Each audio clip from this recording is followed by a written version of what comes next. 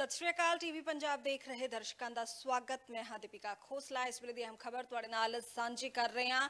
ਸੰਜੇ ਸਿੰਘ ਨੂੰ ਰਾਜ ਸਭਾ ਦੇ ਸਦਨ ਦੇ ਵਿੱਚੋਂ ਮੁਅੱਤਲ ਕੀਤਾ ਜਾਂਦਾ ਹੈ। ਮਾਮਲਾ ਮਣੀਪੁਰ ਦੇ ਮੁੱਦੇ ਉੱਤੇ ਪ੍ਰਧਾਨ ਮੰਤਰੀ ਨਰਿੰਦਰ ਮੋਦੀ ਦਾ ਬਿਆਨ ਚਾਹੁੰਦੇ ਸਨ ਔਰ ਇਸੇ ਮੁੱਦੇ ਨੂੰ ਲੈ ਕੇ ਉਹ ਵੈਲ ਦੇ ਵਿੱਚ ਪਹੁੰਚ ਜਾਂਦੇ ਨੇ ਔਰ ਚੇਅਰਮੈਨ ਜਗਦੀਪ ਧਨਖੜ ਦੇ ਸਾਹਮਣੇ ਆ ਕੇ ਉਹ ਇਸ ਗੱਲ ਨੂੰ ਵਾਰ-ਵਾਰ ਦੁਹਰਾਉਂਦੇ ਨੇ। ਹਾਲਾਂਕਿ ਜਗਦੀਪ ਧਨਖੜ ਉਹਨਾਂ ਦੀ ਗੱਲ ਕੀਤੀ ਜਾਵੇ ਤਾਂ ਉਹਨਾਂ ਨੇ ਸੰਜੇ ਸਿੰਘ ਹੁਣਾਂ ਨੂੰ ਬੈਠਣ ਦੇ ਲਈ ਆਖਿਆ, ਪਰ ਸੰਜੇ ਸਿੰਘ ਨਹੀਂ ਬੈਠਦੇ ਔਰ ਉਸ ਤੋਂ ਬਾਅਦ ਜਗਦੀਪ ਧਨਖੜ ਉਹਨਾਂ ਨੂੰ ਪੂਰੇ ਮੌਨਸੂਨ ਸੈਸ਼ਨ ਦੇ ਲਈ ਰਾਜ ਸਭਾ ਦੇ ਇਸ ਸਦਨ ਤੋਂ ਮੁਅੱਤਲ ਕਰ ਦਿੰਦੇ ਨੇ, ਜਿਸ ਦੇ ਵਿਰੋਧ ਦੇ ਵਿੱਚ ਸੰਜੇ ਸਿੰਘ ਦੇ ਨਾਲ ਵਿਰੋਧੀ ਧਿਰਾ, ਜਿਹੜਾ ਕਿ ਇਹ ਨਵਾਂ ਨਵਾਂ ਗਠਜੋੜ ਬਣਿਆ ਹੈ।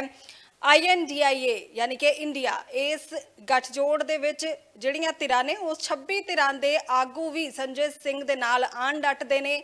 ਔਰ ਇਹਨਾਂ ਦਾ ਧਰਨਾ ਜੋ ਹੈ ਇਸ ਫੈਸਲੇ ਦੇ ਖਿਲਾਫ ਇਹ ਧਰਨਾ ਸਾਰੀ ਰਾਤ ਚੱਲਦਾ ਹੈ।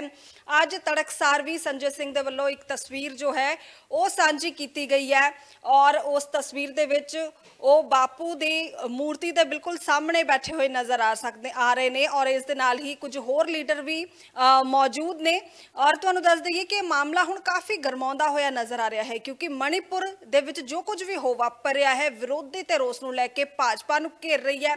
ਪ੍ਰਧਾਨ ਮੰਤਰੀ ਨਰਿੰਦਰ ਮੋਦੀ ਮਣੀਪੁਰ ਦੇ ਮੁੱਦੇ ਉੱਤੇ ਬਹਿਸ ਤੋਂ ਕਿਉਂ ਭੱਜ ਰਹੇ ਨੇ, ਕੋਈ ਗੱਲ ਕਿਉਂ ਨਹੀਂ ਕਰ ਰਹੇ? ਇੱਕ ਬਿਆਨ ਸਿਰਫ ਉਹਨਾਂ ਦੇ ਸਾਹਮਣੇ ਆਉਂਦਾ ਹੈ ਇਸ ਪੂਰੇ ਮਾਮਲੇ ਤੇ। ਉਹ ਵੀ 79 ਦਿਨ ਜਦੋਂ ਇਸ ਪੂਰੇ ਘਟਨਾਕ੍ਰਮ ਨੂੰ ਵਾਪਰ ਜਾਂਦੇ ਨੇ, ਕਿਉਂਕਿ ਅਜੇ ਵੀ ਉੱਥੇ ਮਾਹੌਲ ਕੋਈ ਸੁਖਾਲਾ ਨਹੀਂ ਹੈ। ਤਣਾਅਪੂਰਨ ਸਥਿਤੀ ਅਜੇ ਵੀ ਬਣੀ ਹੋਈ ਹੈ। ਔਰ 79 ਦਿਨ ਦੇ ਬਾਅਦ ਮੌਨਸੂਨ ਸੈਸ਼ਨ ਸ਼ੁਰੂ ਹੋਣ ਤੋਂ ਪਹਿਲਾਂ ਔਰ ਜੋ ਇੱਕ ਬੇਹੱਦ ਇਨਸਾਨੀਅਤ ਨੂੰ ਸ਼ਰਮਸਾਰ ਕਰ ਦੇਣ ਵਾਲੀ ਵੀਡੀਓ ਸਾਹਮਣੇ ਆਉਂਦੀ ਹੈ, ਦੋ ਔਰਤਾਂ ਦੀ ਵੀਡੀਓ ਵਾਇਰਲ ਹੋਣ ਤੋਂ ਬਾਅਦ ਪ੍ਰਧਾਨ ਮੰਤਰੀ ਦਾ ਬਿਆਨ ਆਉਣਾ ਕਿ ਮਨ ਗੁੱਸੇ ਦੇ ਨਾਲ ਭਰਿਆ ਹੋਇਆ ਹੈ, ਦੋਸ਼ੀਆਂ ਨੂੰ ਬਖਸ਼ਿਆ ਨਹੀਂ ਜਾਵੇਗਾ। ਉਹ ਵੀਡੀਓ ਵੀ 4 ਮਈ ਦੀ ਦੱਸੀ ਜਾ ਰਹੀ ਹੈ। ਮਈ ਦੀ ਵੀਡੀਓ ਜੁਲਾਈ ਦੇ ਵਿੱਚ ਸਾਹਮਣੇ ਆਉਂਦੀ ਹੈ ਤੇ ਉਸ ਤੋਂ ਬਾਅਦ ਗ੍ਰਿਫਤਾਰੀਆਂ ਦਾ ਸਿਲਸਿਲਾ ਸ਼ੁਰੂ ਹੁੰਦਾ ਹੈ। ਉਧਰ ਮਣੀਪੁਰ ਦੇ ਸੀਐਮ ਦੀ ਗੱਲ ਕਰ ਲਈਏ ਤਾਂ ਉਹ ਇਹ ਆਖਦੇ ਨੇ ਕਿ ਇਸ ਤਰ੍ਹਾਂ ਦੀਆਂ ਹਜ਼ਾਰਾਂ ਗਰਾਊਂਡ ਤੇ ਜਾ ਕੇ ਦੇਖੋ, ਇਸ ਤਰ੍ਹਾਂ ਦੇ ਹਜ਼ਾਰਾਂ ਕੇਸ ਤੁਹਾਨੂੰ ਮਿਲ ਜਾਣਗੇ। ਇਸੇ ਲਈ ਤਾਂ ਇੰਟਰਨੈਟ ਬੰਦ ਕੀਤਾ ਹੋਇਆ ਹੈ। ਇਹ ਉਸ ਤੋਂ ਵੀ ਕਹਿ ਲਓ ਕਿ ਸਭ ਤੋਂ ਮੰਦਭਾਗਾ ਬਿਆਨ ਇਸ ਨੂੰ ਮੰਨਿਆ ਜਾ ਸਕਦਾ ਹੈ।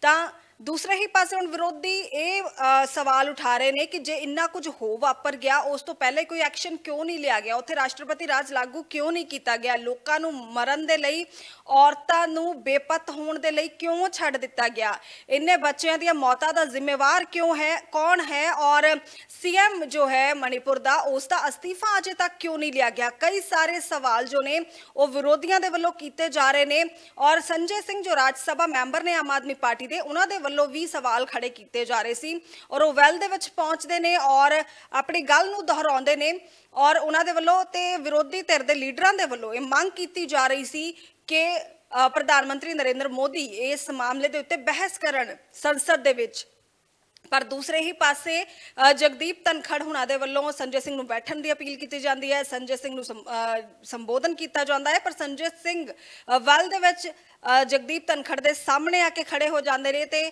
ਉਸ ਤੋਂ ਬਾਅਦ ਸੰਜੇ ਸਿੰਘ ਹੁਣਾਂ ਨੂੰ ਪੂਰੇ ਮੌਨਸੂਨ ਸੈਸ਼ਨ ਦੇ ਲਈ ਮੁਅੱਤਲ ਕਰ ਦਿੱਤਾ ਜਾਂਦਾ ਹੈ। ਤੁਹਾਨੂੰ ਦੱਸ ਦਈਏ ਕਿ ਇਹ ਮਾਮਲਾ ਹੁਣ ਗਰਮਾਉਂਦਾ ਪਿਆ ਨਜ਼ਰ ਆ ਰਿਹਾ ਹੈ, ਕਿਉਂਕਿ ਰਾਘਵ ਚੱਡਾ ਦੇ ਵੱਲੋਂ ਵੀ ਸਵਾਲ ਖੜੇ ਕੀਤੇ ਗਏ ਨੇ।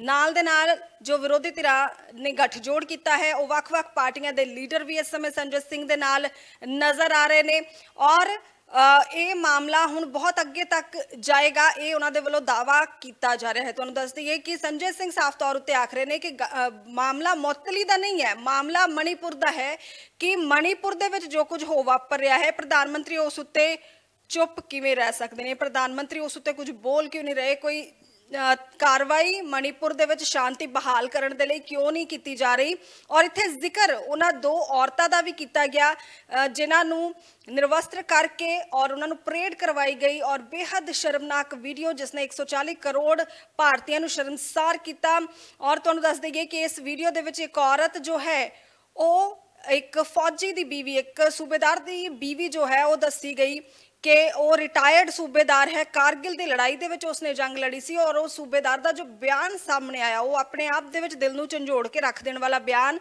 ਕਿ ਮੈਂ ਦੇਸ਼ ਦੀ ਰਾਖੀ ਤਾਂ ਕਰ ਲਈ ਪਰ ਮੈਂ ਆਪਣੇ ਪਰਿਵਾਰ ਦੀ ਰਾਖੀ ਨਹੀਂ ਕਰ ਸਕਿਆ ਆਪਣੀ ਬੀਵੀ ਦੀ ਰਾਖੀ ਮੈਂ ਨਹੀਂ ਕਰ ਸਕਿਆ ਉਸ ਸੂਬੇਦਾਰ ਦਾ ਗੁਨਾਹਗਾਰ ਕੌਣ ਹੈ ਉਸ ਦੀ ਬੀਵੀ ਦਾ ਗੁਨਾਹਗਾਰ ਅ, ਕੌਣ ਹੈ ਬੇਸ਼ੱਕ ਹੁਣ ਅ, ਕਿਹਾ ਜਾ ਰਿਹਾ ਹੈ ਕਿ ਇੱਕ ਤੋਂ ਬਾਅਦ ਇੱਕ ਗ੍ਰਿਫਤਾਰੀਆਂ ਹੋ ਰਹੀਆਂ ਨੇ ਪਹਿਲਾਂ ਇੱਕ ਗ੍ਰਿਫਤਾਰ ਕੀਤਾ ਜਾਂਦਾ ਹੈ ਉਸ ਤੋਂ ਬਾਅਦ ਫਿਰ ਇੱਕ ਸ਼ਖਸ ਦੀ ਗ੍ਰਿਫਤਾਰੀ ਹੁੰਦੀ ਹੈ ਫਿਰ 14 ਕੁ ਦੇ ਕਰੀਬ ਹੁਣ ਗਿਣਤੀ ਦੱਸੀ ਜਾ ਰਹੀ ਹੈ ਕਿ ਉਹਨਾਂ ਨੌਜਵਾਨਾਂ ਦੇ ਵਿੱਚੋਂ ਜਾਂ ਉਹਨਾਂ ਦਰਿੰਦਿਆਂ ਦੇ ਵਿੱਚੋਂ ਕਹਿ ਲਓ ਕਿ ਗ੍ਰਿਫਤਾਰੀਆਂ ਹੋ ਗਈਆਂ ਨੇ ਪਰ ਤੁਹਾਨੂੰ ਦੱਸ ਦਈਏ ਕਿ ਇਹ ਮਾਮਲਾ ਅਜੇ ਰੁਕ ਨਹੀਂ ਰਿਹਾ ਇਸ ਉੱਤੇ ਸਿਆਸਤ ਵੀ ਗਰਮਾਈ ਹੋਈ ਹੈ ਔਰ ਦੂਸਰੇ ਪਾਸੇ ਮਣੀਪੁਰ ਦੇ ਵਿੱਚ ਹਾਲਾਤ ਵੀ ਜੋ ਨੇ ਉਹ ਅਜੇ ਵੀ ਤਣਾਅਪੂਰਨ ਬਣੇ ਹੋਏ ਨੇ ਅ, ਫਿਲਹਾਲ ਇਸ ਮਾਮਲੇ ਦੇ ਉੱਤੇ ਸੰਜੇ ਸਿੰਘ ਹੁਣਾਂ ਦਾ ਬਿਆਨ ਵੀ ਸਾਹਮਣੇ ਆਇਆ ਹੈ ਕੀ ਕੁਝ ਕਹਿ ਰਹੇ ਨੇ ਆਓ ਉਹ ਸੁਣਦੇ ਹਾਂ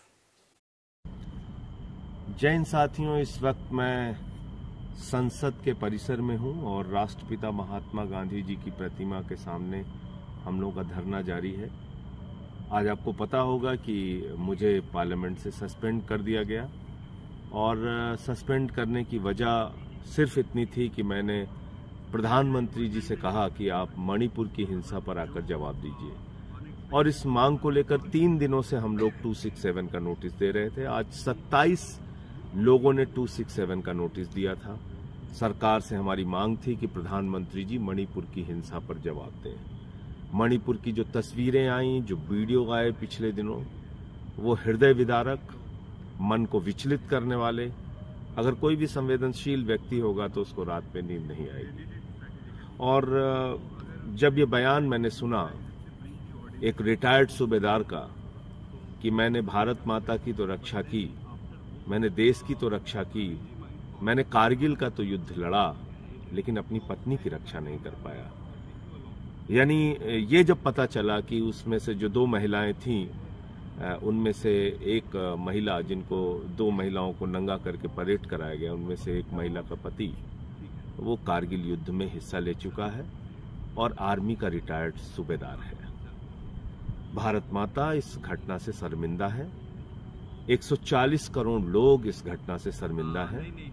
लेकिन हमारे प्रधानमंत्री को शर्म नहीं आती। वो नारा देते हैं, बेटी बचाओ का, बेटी पढ़ाओ का बड़ी बड़ी बातें करते हैं। प्रधानमंत्री जी, कैसे आप खामोश रह सकते हैं? देश के एक हिस्से में बेटियों का बलात्कार हो रहा है, महिलाओं को नंगा करके घुमाया जा रहा है, उनके साथ अश्लीलता की जा रही है, दरिंदगी और हैवानियत की जा रही है छोटे छोटे बच्चों का कत्ल हो रहा है लोगों के घर जलाए जा रहे हैं, बुज़ुर्गों की माताओं, बहनों की हत्याएँ हो रही हैं, और आप चुप हैं, आप खामोश हैं, आपको शर्म नहीं आती? आप सदन में आके जवाब नहीं दे सकते? आप कैसे इतने संवेदनहीन हो सकते हैं, प्रधानमंत्री जी? आप पूरी दुनिया की सैर कर रहे हैं? आपको चीता के ऊपर तीन दिन फ़ोटो खिंचवाने की फुर्सत है? आपको रोज रेलवे की झंडी दिखाने की फुर्सत है? आपको मणिपुर पर बोलने की फुर्सत नहीं, लेकिन ब्राज़ील के फुटबॉलर पे ट्वीट करने और बोलने की फुर्सत है। आपको क्रिकेट के खिलाड़ी की उंगली टूट जाए तो उस पर ट्वीट करने और बोलने की फुर्सत है। ये कैसा दोहरा चरित्र है आपका, प्रधानमंत्री जी? आप क्या समझते हैं इस देश के लोगों को? क्या मणिपुर के लोग इंसान नहीं है? क्या मणिपुर भारत का हिस्सा नहीं है? अगर इस प्रकार की दरिंदगी, हैवानियत और हत्या की घटनाएँ वहाँ हो रही हैं तो आप खामोश कैसे रह सकते हैं? और मैंने कौन सा गुनाह कर दिया, ये मांग करके? कि प्रधानमंत्री को सदन में आके जवाब देना चाहिए? प्रधानमंत्री को सदन में आके बोलना चाहिए? आप दिन भर में चार बार कपड़े बदलने की फुर्सत आपके पास है? दस मिनट, बीस मिनट आप सदन में आके मणिपुर की हिंसा पे नहीं बोल सकते? एक ऐसा स्टेट जो जल रहा है और आपका मुख्यमंत्री कह रहा है कि ऐसी सैकड़ों घटनाएँ हुई हैं यहाँ पे नंगा करके महिलाओं को घुमाने की? ऐसी घटनाएँ आगजनी की और लोगों को मारने की हो रही है, ये मुख्यमंत्री कह रहा है? तो मैं सबसे एक ही अपील करना चाहता हूँ, अगर जरा सी भी संवेदना है आपके अंदर, जिस तरह से भी विरोध कर सकते हैं, मणिपुर हिंसा का विरोध कीजिए, मणिपुर की दरिंदगी और हैवानियत का विरोध कीजिए, कारगिल का वो योद्धा, वो रिटायर्ड सूबेदार आपसे सवाल कर रहा है, पूछ रहा है कि मैंने तो भारत माता की रक्षा के लिए कारगिल के युद्ध में हिस्सा लिया, देश की रक्षा कर ली, अपने पत्नी की रक्षा नहीं कर पाई। आज आप सबकी ज़िम्मेदारी है उस कारगिल के योद्धा की पत्नी की आवाज़ उठाने की। आज आप सबकी ज़िम्मेदारी है मणिपुर की बेटियों की, वहाँ के बुज़ुर्गों की, वहाँ के माताओं, बहनों की, वहाँ के बच्चों की आवाज़ उठाने की। आप सबकी ज़िम्मेदारी है जो वहाँ चर्च चलाए जा रहे हैं, मंदिर तोड़े जा रहे हैं, उन मुद्दों को उठाने की। आइए हम सब मिलकर मणिपुर की हिंसा के खिलाफ अपनी आवाज बुलंद करें ਤਾਂ ਫਿਲਹਾਲ ਮਾਮਲਾ ਪੂਰੀ ਤਰ੍ਹਾਂ ਗਰਮਾਇਆ ਹੋਇਆ ਹੈ ਵਿਰੋਧੀ ਧਿਰਾਂ ਦੇ ਵੱਲੋਂ ਲਗਾਤਾਰ ਭਾਜਪਾ ਨੂੰ ਘੇਰਿਆ ਜਾ ਰਿਹਾ ਹੈ ਪ੍ਰਧਾਨ ਮੰਤਰੀ ਨਰਿੰਦਰ ਮੋਦੀ ਨੂੰ ਲੈ ਕੇ ਕਈ ਤਰ੍ਹਾਂ ਦੇ ਸਵਾਲ ਖੜੇ ਕੀਤੇ ਜਾ ਰਹੇ ਨੇ ਮਣੀਪੁਰ ਦੀਆਂ ਸਥਿਤੀਆਂ ਆਪਣੇ ਆਪ ਦੇ ਵਿੱਚ ਹੀ ਸਰਕਾਰ ਦੇ ਲਈ ਵੀ ਚਿੰਤਾ ਦਾ ਵਿਸ਼ਾ ਬਣੀਆਂ ਹੋਈਆਂ ਨੇ ਹੁਣ ਦੇਖਣ ਵਾਲੀ ਗੱਲ ਇਹ ਹੋਵੇਗੀ ਕਿ ਕੋਈ ਵੱਡੀ ਕਾਰਵਾਈ ਕਦੋਂ ਕੁ ਤੱਕ ਕੀਤੀ ਜਾਂਦੀ ਹੈ ਔਰ ਮਣੀਪੁਰ ਦੇ ਵਿੱਚ ਜੋ ਹਾਲਾਤ ਬਣੇ ਹੋਏ ਨੇ ਉਥੇ ਸ਼ਾਂਤੀ ਕਦੋਂ ਕੁ ਤੱਕ ਬਹਾਲ ਹੁੰਦੀ ਹੈ ਜੋ ਵੀ ਅਪਡੇਟਸ ਹੋਣਗੇ ਤੁਹਾਡੇ ਨਾਲ ਸਾਂਝੇ ਕਰਦੇ ਰਹਾਂਗੇ ਤੁਸੀਂ ਦੇਸ਼ ਵਿਦੇਸ਼ ਦੀ ਤਾਜ਼ਾ ਜਾਣਕਾਰੀ ਲਈ ਦੇਖਦੇ ਰਹੋ ਟੀਵੀ ਪੰਜਾਬ